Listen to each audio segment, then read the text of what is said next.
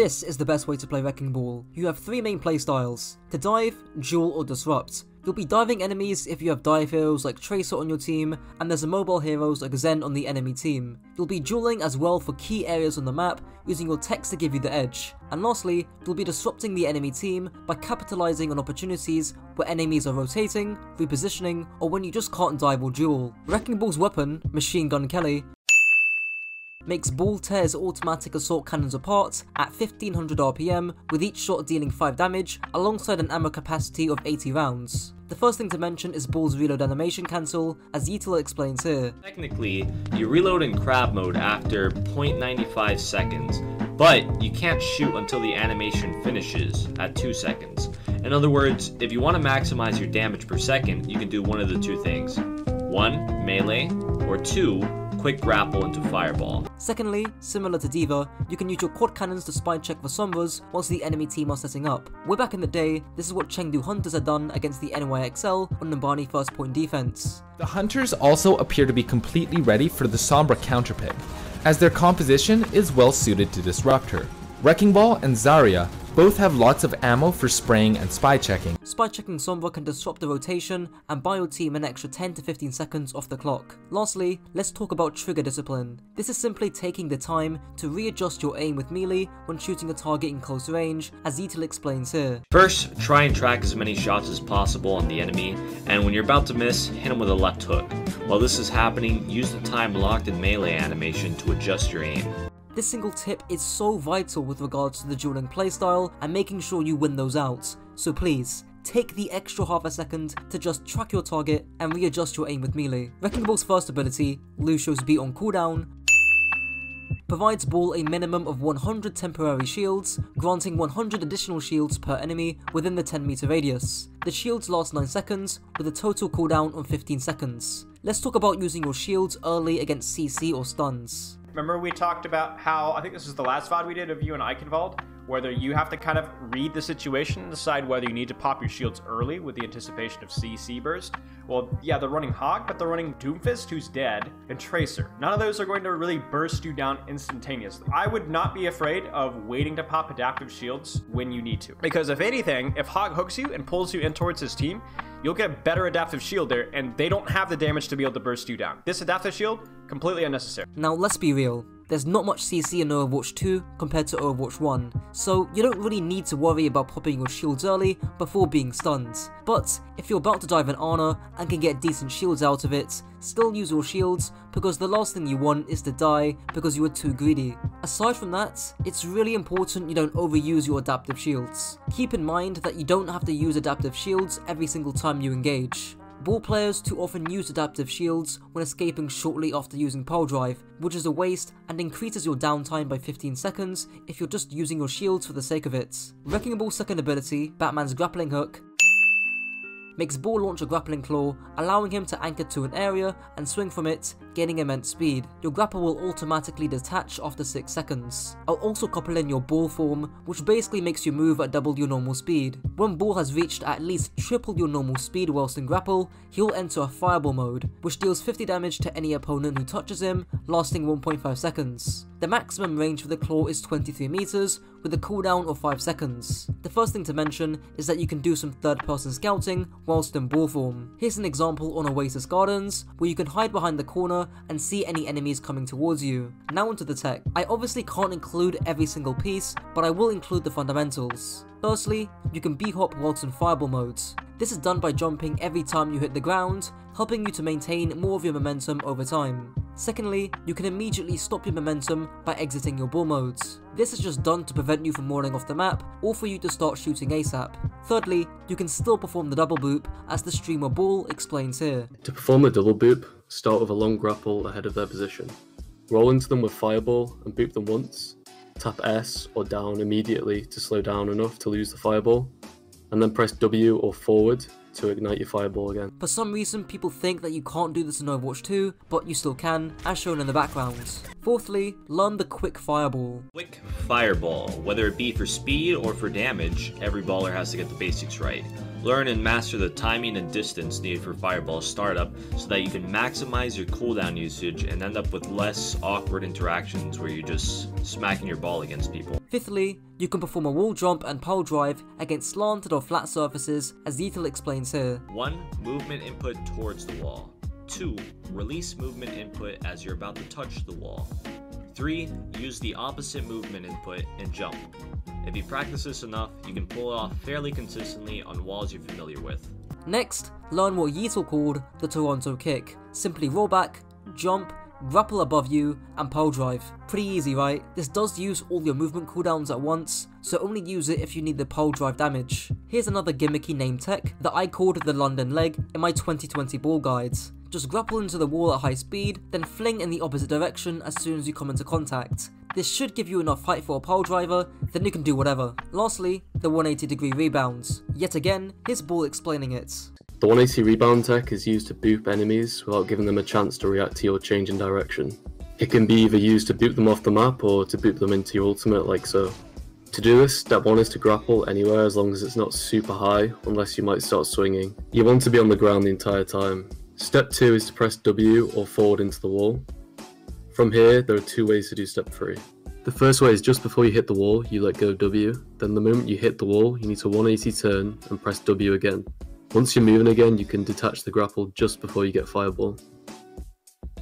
The second way is just to press S or backwards when you hit the wall without the camera turn. This is good for people with low sensitivities or who play on console. Once again, detach when you're just about to fireball or else you'll spring right back. One of my favourite things to do is bait enemy Lucios or balls near the edge and just hold down my power drive button. That means I can't get booped off the moment they boot me. Then immediately I'll 180 rebound them off a nearby wall and uh, hit them with the Uno reverse card. Ball's third ability, How to Feed in 3 seconds, makes a Ball slam into the ground, dealing up to 100 damage in an 8 meter radius, launching the enemy in a locked vertical stance for half a second. Just like a grapple, there's a bunch of tech we need to cover. Firstly, the recovery pole driver. You can perform this by rolling off a ledge, quickly moving back, and pole driving. This is not only used to get you back to high grounds, but you can quickly pop this in a duel, and if you're fighting a squishy, you'll almost certainly win. The extra damage and CC lock-in should be enough to seal the deal, so learning this is absolutely vital for the dueling playstyle. There's obviously the minefield and pile driver combo, which is as old as time. You minefield in the air, then pile drive to suck in enemies towards your minefield and also deal some damage too. You're basically guaranteed a kill on a squishy just by doing this. Now into the most important parts, knowing when to not use pole driver and viewing it as a more opportunistic ability as amateur coach Lucid explains here. You want to think of pile drive as a more opportunistic ability. You want to use pile drive when you see these three scenarios. Either want to use it to finish off low HP enemies, relieve pressure from your backline if the enemy's posing a serious threat to it, or when you know someone can follow up on it, like, for example, a Tracer, an Echo, a Genji. I would add a fourth usage, which is just pole driving when you can get away with it, and or in duels, as discussed prior. That clip from Lucid was from Overwatch 1, when there were a lot more stuns compared to Overwatch 2, but the principle still applies. You don't want to use pile driver and unnecessarily risk your HP pool for it. Kim Jong-un's second favourite weapon, makes Ball deploy a set of long-lasting proximity mines, which deal 130 damage per mine, lasting 20 seconds. Also note that each mine has 50 HP. There's four main uses to your mines. Firstly, to split the enemy team. Think of it like Dragon Strike and dividing and conquering from there on. Secondly, AoE fragging. A brawl team clumped up together would be a perfect time to minefield for a high chance of dealing serious damage. Thirdly, a solo ult. If you need to force trans or resources away from the front line, it is almost always worth solo minefielding. Lastly, contesting points. There have been many times, especially on Koth and now on Push, where the enemy team will play extremely sloppy and combined with you spinning around the points, a minefield can buy some serious time. Note that some of these points are not mutually exclusive to each other. The last point I want to raise is timing your minefield. As with any offensively used ultimate, it needs to be well timed to receive value. Many ball players, even in the high ranks, will constantly mistime their engagements. Perfectly timed. Good minds too. It doesn't need to get kills to be good. They're trying to go in and find value with this mine engage. They've committed to this fight. You go for like a boop play. You don't quite get it good enough. You preemptively adaptive shield, which is good because the Kree Hog, which is good. You mine, which is good, and then you get out of town. You've done your job. Like there's somebody on point right now. That person is by themselves. They're so split right now. Your team can follow up on all of this. Your Genji can follow up on all of this. Now onto the playstyle and positioning part of the guides. For those who've watched my old ball guides, these three playstyles do remain the same, but with a few tweaks. I'll let Spilo cover the three main playstyles, being the dive, disrupt or duel, and then I'll add my own nuance. It's dive,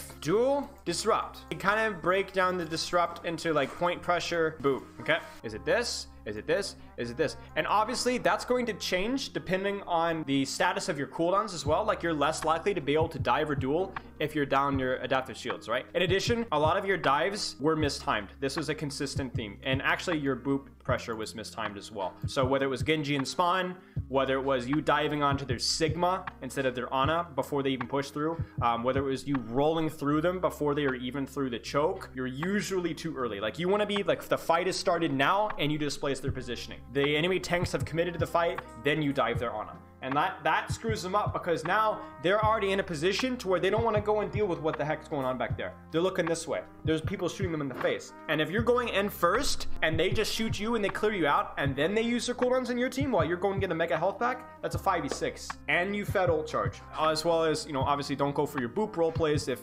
half of your team isn't even there or a member of your team isn't there to follow up on it and if they're not in a position to get booped. So with Overwatch 2, the main difference will be that you're dueling a lot more. I had a talk with some coaches I respect, and because there's no other tank in Overwatch 2, the bad news is that you'll have to cover more angles. The good news is that you're the most mobile tank in the game, so you can get anywhere at any time, even Yeatle said that in his own guides. So, for example, say you're attacking Numbani second points. You're playing against Ana, Mercy, Ashe, Soldier, maybe the Soldier, Ashe, and Mercy are on high grounds. Ideally, if possible, you could duel the enemy Ashe or Soldier, doing those recovery pole drivers we talked about earlier. If there's too much healing and you can't duel, no biggie. Go for the disrupt playstyle instead, looking to conserve your HP pool, doing roll throughs and avoiding pole drivers. The goal with disruption here is to get the soldier and Ashe to spend as much time looking at you rather than your team, whereas with diving or dueling, your main goal is lethality. If you of course have a Genji or someone to help you, then you could dive the Ashe or soldier, but that won't always be the case. I hope this example helps to illustrate how you can fluctuate between the three playstyles at a moment's notice. Finally, I do want to cover playing up against compositions with high CC. Overwatch 2 obviously has a lot less CC and stuns compared to Overwatch 1, but if you are playing against a composition like a Hog, Mei, Sombra, Ana,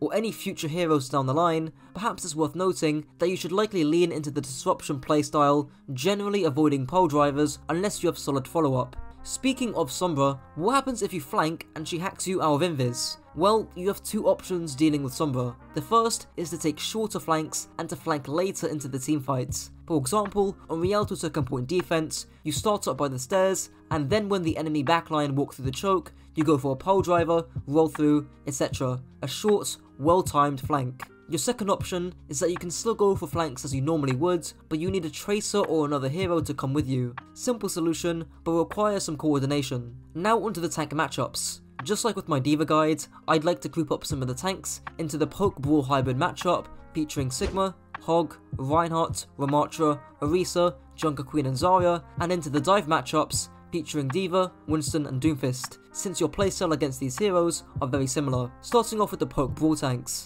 Notice how your mobility against each of these tanks is significantly higher. Abuse that. Look to fight for space and angles around the tanks rather than fighting the tanks themselves. Obviously, against Orisa and Hog, you'll definitely want to be opportunistic with your pole driver to avoid being stunned, but here, you'll rarely be fighting them. If the enemy backline are squishy heroes, like Zen or Mercy, you'd be diving or drawing them, but if they're more slippery, like a Kiriko or Lucio, you'll be disrupting most of the time. The dive tanks. This is a bit more complicated. Doomfist just has too much mobility, so you'll just be trading or diving each other's backlines for the most part. With Winston, you can disrupt his dive by booping him out of his bubble, or again by diving the Winston's own backline. Against D.Va, your playstyle will actually be more like the Poke Brawl tanks, because D.Va can peel, unlike Doomfist or Winston. If you dive the backline, D.Va's gonna be there to peel that off.